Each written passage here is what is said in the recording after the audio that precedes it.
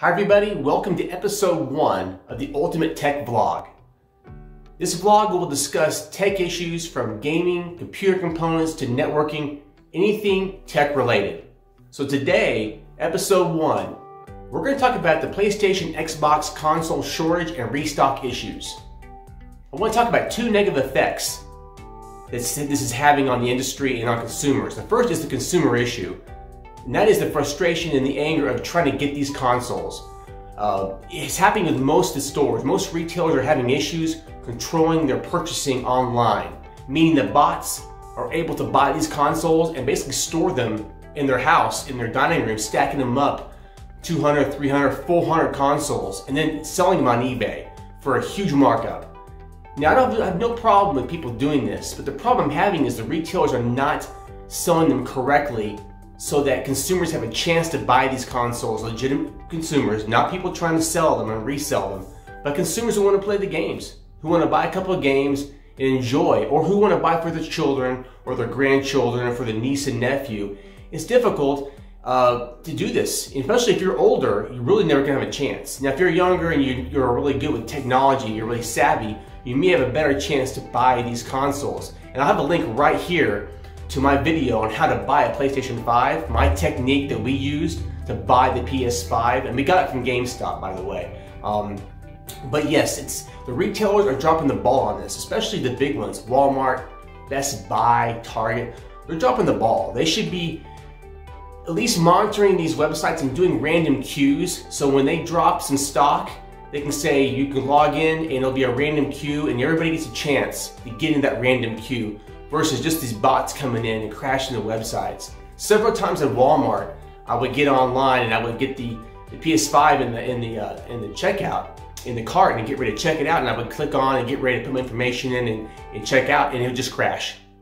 And it happened several times. And also I went on Instagram and uh, Twitter and people complained about the same thing. So it wasn't just me, it was a bunch of people having the same issues because these bots are able to basically just buy up all the, uh, the stock.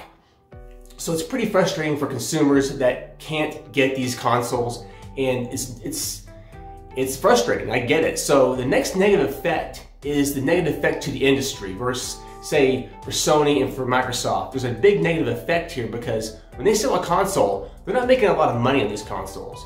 And generally they don't make any money. A lot of times they lose money because they know in the long run you're gonna buy a bunch of games. And I would assume that they're probably thinking when you buy a console, you're gonna buy two games. And these games are about 70 bucks a piece. So you're gonna spend about 140, maybe 150 bucks on two games. And that they're thinking when they sell a console, that's what you're gonna do. Problem is, when they sell a console online, you know, bots grab it up and they, they're stored in someone's basement until they can sell them on eBay. There's no games being sold. They're not selling any games. And I'm sure they're seeing that in their numbers. And, and, the, and the numbers are pretty bad right now for them as far as selling games. And that's what they want to do. Consoles, they're not making much money, I guarantee it, making a little bit of money, but they're making the money on the games. If they can't sell the consoles to legitimate consumers who are buying these to play the games, if some guy in, in Germany's got, you know, a thousand consoles in his dining table trying to sell them on eBay, well, those, that's a thousand games, or maybe 2,000 games. Say it's two games per console. It's 2,000 games they haven't sold.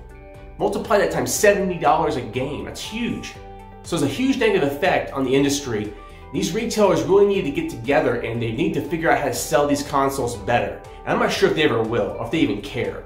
They just want to get these consoles out, they don't care who buys them, but they should care. Because these retailers also sell games. Walmart sells games, so does um, Target. Now, people are buying digital games, obviously, but if you buy a console edition like I bought with the drive in it, the uh, DVD drive, Blu-ray drive, I'm buy, I like to buy physical copies, and most people really like to buy the physical copies. I think physical copies are the way to go. I like having a collection. You know, see a stack of, of, uh, of games. It's old school. I'm kind of old school. I'm 50, so I, I like that old school feel of having the game in your hand and the look. Um, but they're missing out. They're missing out on, on, selling accessories, missing out on selling a lot of things by allowing these bots to come in and grab up all the consoles. And maybe P PlayStation and Xbox could have sent emails to these retailers, hey, this is what you need to do, do random queues, monitor your retail website better. Um, they've got billions of dollars. These Walmart, there's no excuse for Walmart or Target or Best Buy not to have these implemented before all this came about. I mean, in November, it's ridiculous. So I really believe that we're going to see shortages all the way to the end of summer because once summer hits and everybody's out of school, they're going to be buying more consoles. I just imagine we're not going to see a legitimate, you won't be able to go into a store and see a console in a display case, I don't think until probably, I would guess August, September, maybe. Maybe, we'll see though. I mean, that's, right now if you go in anywhere, any store, you'll never see anything in, in a display case. They're all sold out. Even the accessories are sold out pretty much. So, it's a huge issue here. I hope that they can figure this out soon, but I doubt it.